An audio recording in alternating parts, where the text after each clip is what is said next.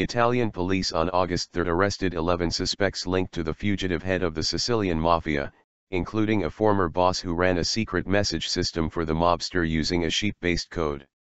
Matteo Messina Denaro, 53, who has been on the run since 1993, used a farm in Mazara del Vallo to communicate with his henchmen via the aged-old method of pizzini, bits of paper containing messages often written in cipher, police said.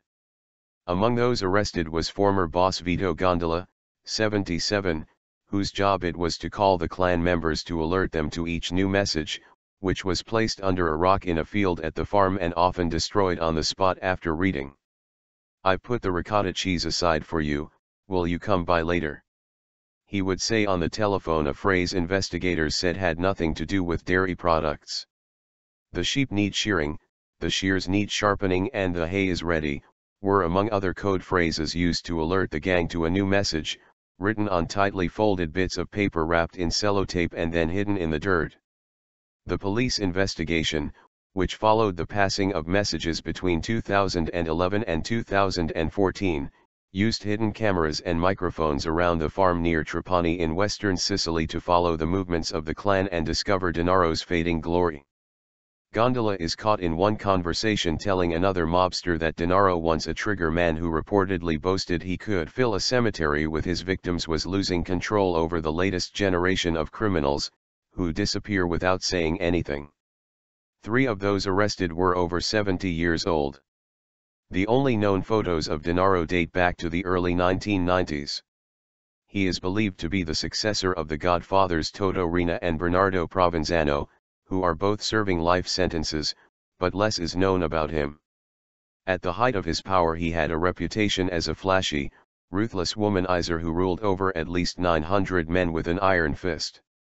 The 11 suspects arrested were the men who were closest to Denaro right now, said police official Renato Cortese, adding that it was too early to say whether the sting would help investigators close in on the fugitive.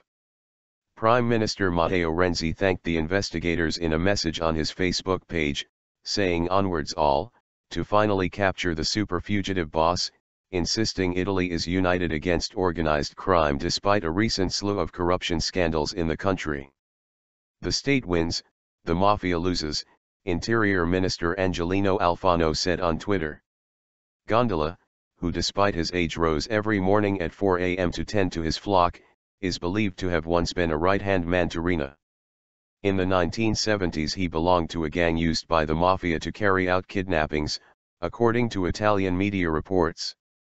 The Sicilian mafia, known as Cosa Nostra or Our Thing, was the country's most powerful organized crime syndicate in the 1980s and 1990s, but has seen its power diminish following years of investigations and mass arrests. It also faces fierce underworld competition from the increasingly powerful Naples-based Camorra and Calabria's 'Ndrangheta.